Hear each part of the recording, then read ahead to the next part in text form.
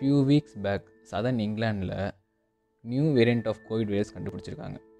அது எந்த அளவுக்கு ஸ்ட்ராங் எந்த அளவுக்கு பரவுது அதே மாதிரி இப்போ கரண்ட்டாக யூஸ் பண்ணிகிட்டு இருக்க ட்ரீட்மெண்ட் அதுக்கு யூஸ் ஆகுமா?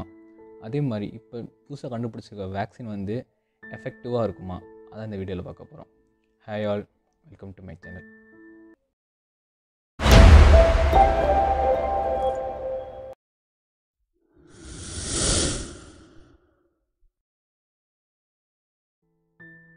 scientist புதுவிதமான ஒரு கொரோனா வைரஸை கண்டுபிடிச்சிருக்காங்க யூகேல அதே மாதிரி இது பழைய கொரோனா வைரஸோட ரொம்ப வேகமாகவும் பரவதாக சொல்கிறாங்க இதுக்கு சயின்டிஸ்ட் வச்ச பேர் variant under investigation twenty twenty twelve கண்டுபிடிச்ச டேட் வந்து டுவெல் அதே மாதிரி ஜீரோ ஒன் அது எனக்கு என்னன்னு தெரியல ஒரு வேளை வேரியண்ட் நம்பர் ஒன்னாக இருக்கலாம்.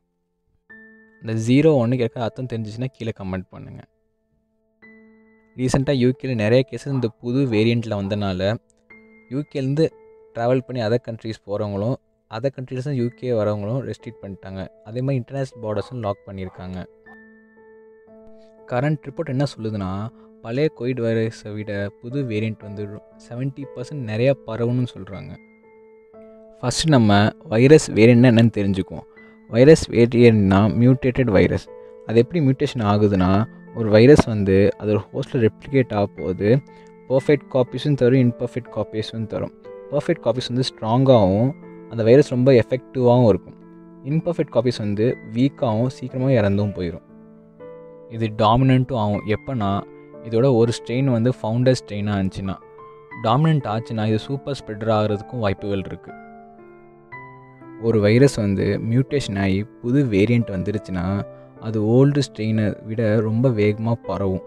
அதான் இப்போ யூகேயில் நடந்துக்கிட்டு இருக்குது இந்த புது வேரியண்ட் ஆஃப் கோவிட் வைரஸ் வந்து சவுத் இங்கிலாண்டில் கண்டுபிடிக்கிறாங்க first researchers the new variant of Covid வைரஸை டிசம்பர் மாதம் வந்து கண்டுபிடிக்கிறாங்க. ஆனால் இந்த சாம்பிள்ஸ்லாம் வந்து செப்டம்பர் மாதமே கலெக்ட் பண்ண சாம்பிள்ஸ் தான்.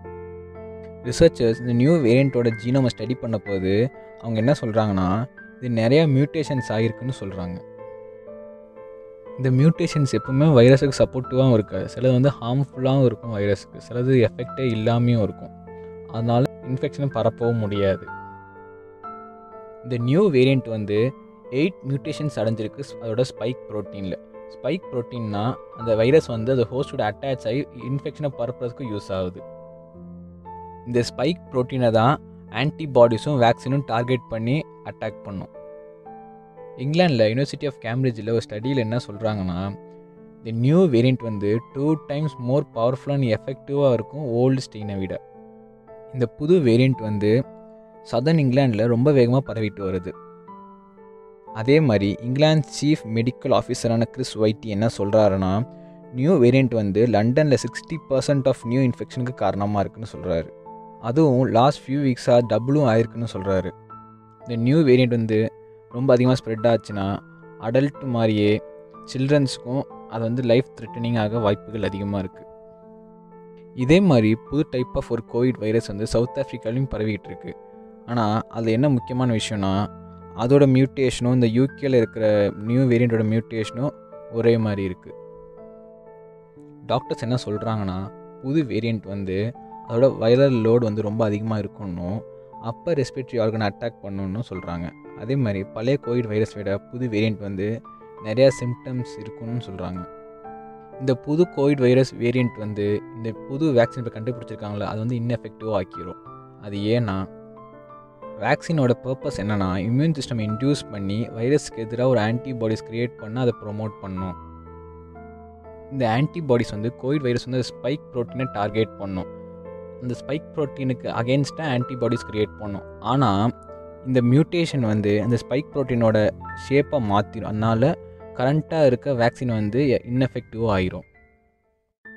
இந்த வீடியோ உங்களுக்கு பிடிச்சிருந்தா லைக் பண்ணுங்கள் உங்கள் ஃப்ரெண்ட்ஸுக்கும் ஷேர் பண்ணுங்கள் கண்டிப்பாக இந்த மாதிரி வீடியோ வேணும்னா சேனலுக்கு சப்ஸ்கிரைப் பண்ணுங்கள் தேங்க்யூ